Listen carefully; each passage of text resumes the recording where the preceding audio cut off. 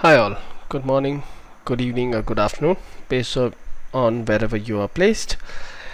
My name is Saurav Dhyani and this in this particular video we'll see how you actually check your SQL Server version that you have on your machine. People sometimes misunderstood it and you know give a different version and that causes confusion because you cannot have a high backup taken from a higher version of SQL Server and then getting it restored on a lower version of SQL Server. To know the exact version and that's where it becomes very important because of the database compatibility. So let's see what kind of mistake we do to start with. So normally people will do an open SQL Server Management Studio and use help and share that version.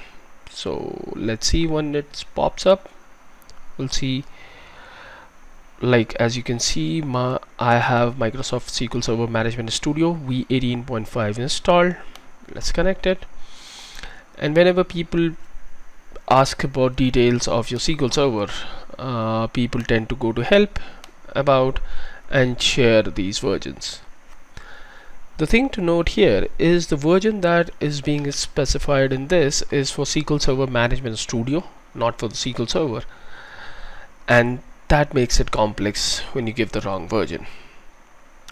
So now let's try to figure out what are the different ways that you can find out what is your SQL Server version. The first one you can always use your SQL Server Management Studio and see detail at the top which is this. 14.0 169 that's my SQL Server version. We'll see what that means as we go forward so that's one way to check your SQL version.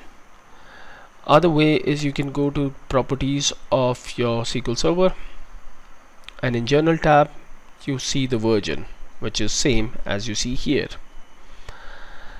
So that's the other way where you can check it.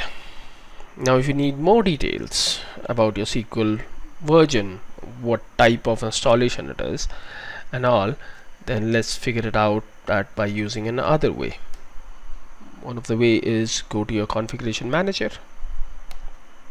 SQL Server configuration management if you don't have it as shortcut you can always find it coming down here and then look for Microsoft SQL Server whichever you want.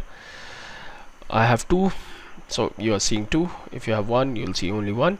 And then click on the SQL Server version whatever you have configuration manager once you are here you can click on the SQL Server properties click on advanced and then inside that you will get two things. One is the version number and one is the stock keeping unit name.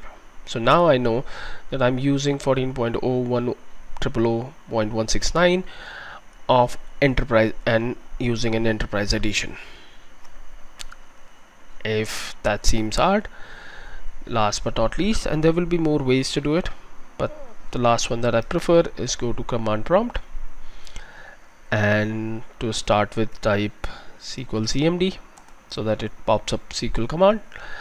And then write and let me zoom it in because it can be hard to read. Okay. So hope you can see it now. Then the after SQL CMD you can say select at the rate at the rate version enter and then type go and click enter. So as you can see I'm getting all the details here which is I'm using Microsoft SQL Server 2017 released to marketing uh, market as in the initial build with a build number of 1000.169 64 bit release when and what edition? Enterprise edition 64 bit on a windows 10 pro machine.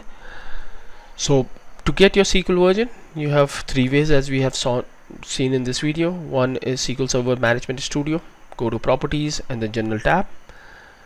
Use SQL Server Configuration Manager.